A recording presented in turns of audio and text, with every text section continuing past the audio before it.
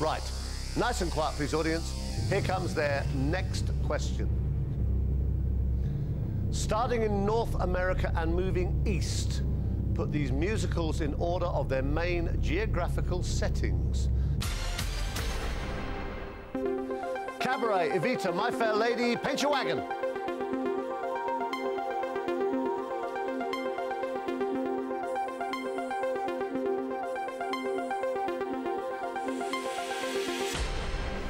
Eight left, eight looks of horror. Let's um, let's see. This is this is the right order.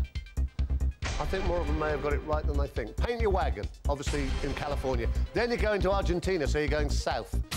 Uh, My Fair Lady obviously said in England, and then Cabaret said in Germany. So that's the right answer. Now, out of eight, these got it right. Who was fastest? Uh, Wendy Herp in 6.56 seconds. Wendy! Come on, we can do this.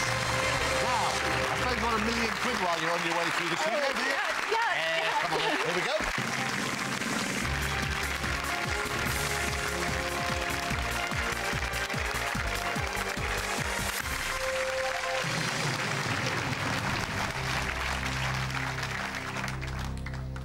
Right, this is Wendy Herp. Uh, she was born in New York, raised in Ohio, and worked for a US congressman in Washington before moving to London 27 years ago. Uh, she nowadays lives in Witney in Oxfordshire, where she's a publishing editor for a science publishing house. Uh, she met what she describes as a wonderful Yorkshireman called Mike in a bar inside the British Embassy when she was working in Washington and married him. He's here with her tonight. They have three quite grown up kids, and she says her dream would be to win enough on the show for a house by the sea, but she's settled for 600 quid to pay for full British citizenship. Hardly complicated at all. Right, 12 questions, three brand new lifelines, one million pounds is the formula. Wendy, lots of luck. Let's play Who Wants to Be a Millionaire? So, we've been up to 50,000, we've been up to 75,000. We're back down at question number one. This is for 500 pounds. Des Lynam is best known for presenting TV programmes on what subject? Food, gardening, sport, music. That's sport, Chris. It's the right answer. You got 500 pounds.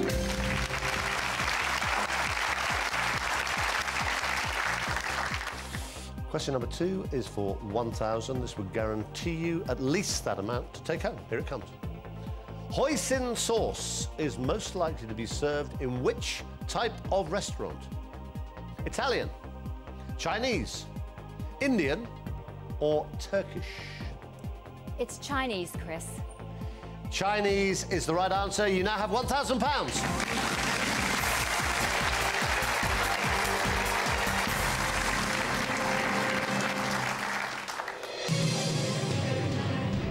Wendy, your life is very complicated. You're raised in Ohio, you now live in Witney. and Mike was a dream come true. Absolutely. So we want to imagine now, looking up. it's still there, the magic, isn't it, Michael? Oh, it's something about a Yorkshireman, I must say. Yeah, they're usually really mean. Okay. no, you have £1,000. Question number three is for 2000 Let's try and get some money. Here we go. Which bird can be identified by the eye-like spots on its tail? Ostrich, raven, kingfisher, peacock. That's peacock, Chris. Final answer? Final answer. The right answer. You got £2,000. Question number four is for 5,000. As what is Janice Dickinson most famous? Singer, model, ballerina, cook. She is a model, Chris. She a model? Yes, she's a model. Final answer. Final answer. You're on a bit of a roll, Wendy Herp. You've got £5,000. You have not touched any lifelines.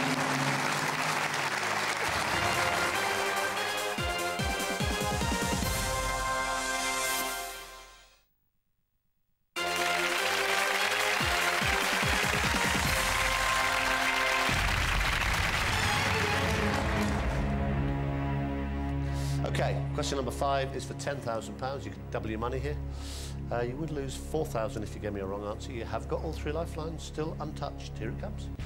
With which sport is the name Ross Brawn most associated? Horse racing, cricket, tennis, motor racing. I have an inkling,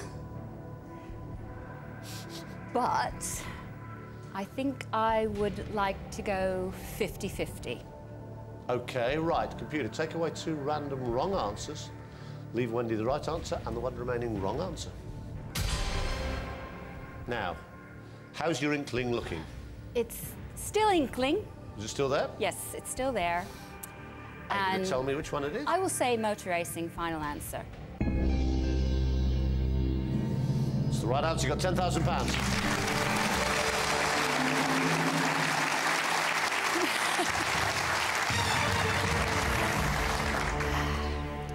You're two away. You've been quietly working up, Wendy Herp. You're two away from 50,000. You still have two lifelines. Question number six is for £20,000. Here it comes. Which poet was born in Cockermouth in Cumbria in 1770? Keats, Shelley, Wordsworth, Tennyson.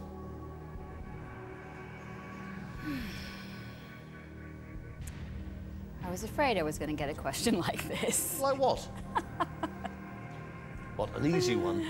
Oh, it's only easy if you know the answer. Do you know, I've heard that somewhere. Who is it used to say that? It's for £20,000. You've got to phone a friend. You can ask the audience. One of those. Which poet was born in Cockermouth in Cumbria in 1770? Keats, Shelley, Wordsworth or Tennyson? I think I would like to phone a friend. OK. Who'd know? I would like to phone my friend David. What does he do? He teaches He- poetry. Well, he, he is a t- he's a teacher, he's a lecturer. So uh, OK, right. We'll phone David. Where is he? He's in Scarborough. OK, phone David in Scarborough. We'll tell him the question, four possible answers. Uh, want me to tell him it's worth £20,000? Um, yeah, go on. Go on, focus him. Hello? David, Hello, yes. Chris Tarrant, who wants to be a millionaire, good evening. Hello? Um, are you feeling calm and collected? Uh, hardly. No, come on. Um, right, I've got Wendy in the chair. Yes, hello? She's doing rather well. She's stuck on a particular question. It is worth £20,000. Right. So it's quite serious. Yes. Right, David, the next voice will be Wendy. She'll tell you the question. There are still four possible answers. One of them is obviously the right answer. It's the one we want. Okay. All right, mate. Right, Wendy. Lots of luck, darling. You've got 30 seconds. Your time starts now. David, Hello? which, which poet was born in Cockermouth in Cumbria in 1770? Was it Keats, Shelley, Wordsworth, or Tennyson?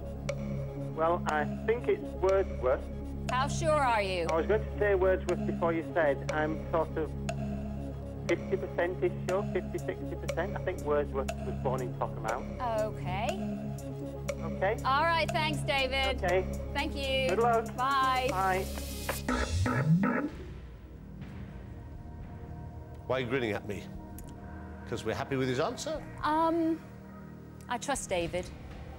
Uh, you would lose £9,000 here if you gave me a wrong answer, but it is worth 20000 I I am going to go with Wordsworth.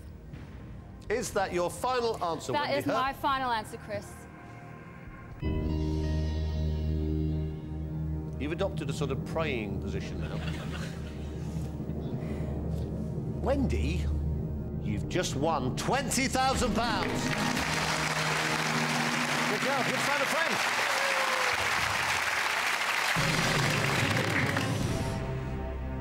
You have £20,000. You can ask this shiny new audience. Have a look at question number seven of a possible 12. Here it comes.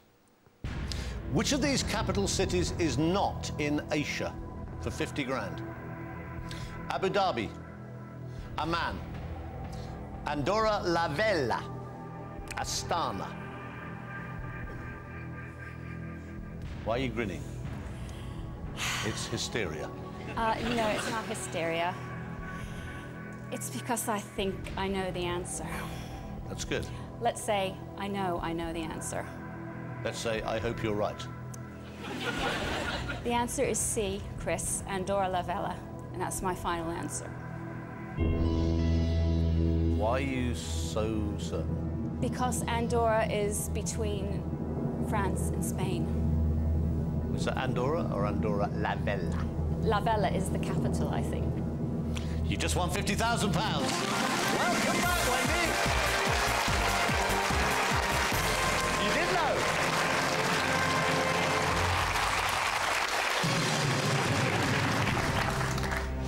Look at you. you are £50,000 better off. Have a look. What do you want to do? Take it? Can I just look at it? Well, you can if you want. Oh, that's very nice. It's very nice. It says pay Wendy Herp, that's you, £50,000. Fantastic. It's a serious amount of money. What does that mean to you and Mike? It's just, it's just wonderful. It's, I wouldn't say it's life changing, but it's certainly life enhancing at our, uh, at our point. So uh, it's brilliant. It's fantastic. That's the least amount you will leave here with tonight, £50,000. And you are only five little right answers away from a million. Mike's grinning at you, by the way. He's very pleased oh, with you. Good. You met him at the bar. There's a surprise. It happens to a lot of the couples on this show. You met at the bar in the British Embassy. yes. It was just like a little British pub in the embassy. And uh, that's where we met. And he proposed to you in a lift. Yes, yes. Going up, which is a good sign. OK, right, come on. Serious business. You have £50,000. You still have one lifeline. Great thing about the next question, as always, you might as well play it. You cannot lose money on this one. Have a look at question number eight. You've got 50 grand guaranteed. Here it comes. In 2008, which pop group became the first to perform at the Louvre Museum in Paris? Coldplay, Rolling Stones, Duran Duran, Oasis.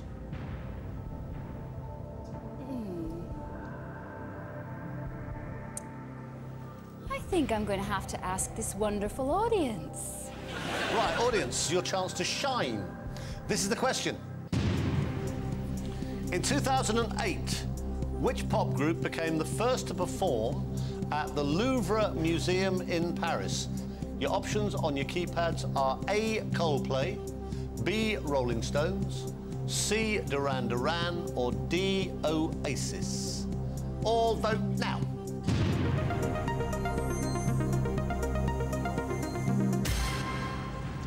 Fifty-nine percent say Coldplay, twenty-two percent Rolling Stones, uh, twelve percent Duran Duran, and just seven percent say Oasis. So, it's up to you. Well, that was my my instinct. You, Wendy. you. You're going to say that, aren't Of you? course I am. Okay. Of course I am. Well, I didn't think it was Duran Duran, so uh, so I will go with the audience. and I'll say a Coldplay. Final Is that answer. your final answer, Wendy? Yes. Yes. You had £50,000.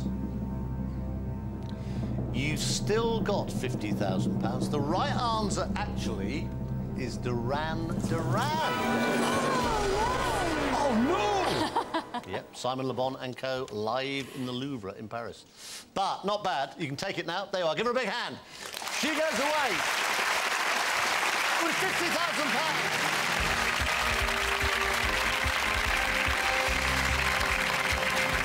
We've got 10 brand new contestants who all applied to be on the show by phoning the Millionaire Hotline. I'll give the number later on.